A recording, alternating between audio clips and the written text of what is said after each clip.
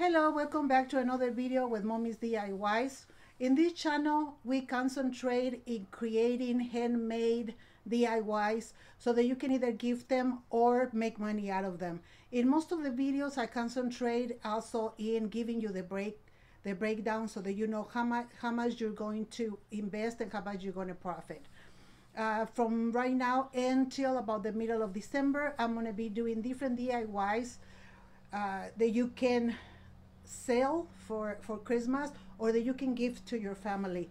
But if you uh, if you're new in this channel, please go ahead and like my video and subscribe if you haven't and give me thumbs up. That will really help me a lot.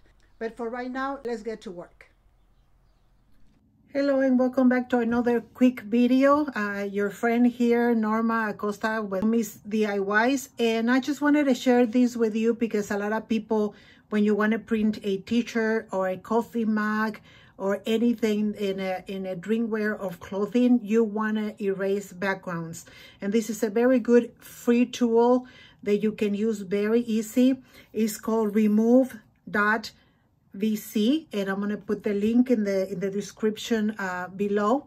And basically what you do is you uh, bring it up in your screen. You can also bring it up in your uh, iPad or uh, iPhone or Android, whatever you may have. But basically what we do, you are right here and it's going to ask you to upload an image. So that's basically what you're going to do.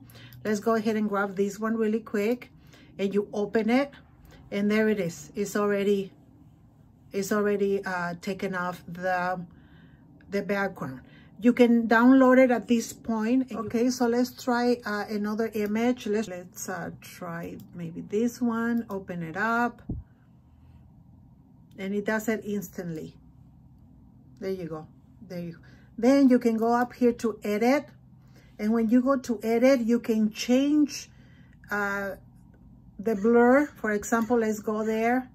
If you want it blurry there and there if you don't want to show a lot of the background. You can also give it a different background. Look at all the backgrounds that this one has.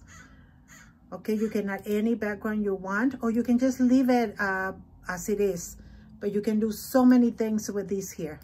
And then from here you can go ahead and download it and put it on a coffee mug or put it on a t-shirt or whatever you want to do but look at all that there's so many good, nice things that you can do with this application. Okay, so uh, another thing, um, this one too, you can you can restore your picture back to where it was. You can uh, do a lot of more things if you uh, play with it. But here it is, the, the picture, and this is completely free. Uh, you can also sign up and log in for more options, but this is a very easy way when you want to just do it quickly remove a background there it is okay? So i hope you like it and i hope you can find a good use for this uh for this website.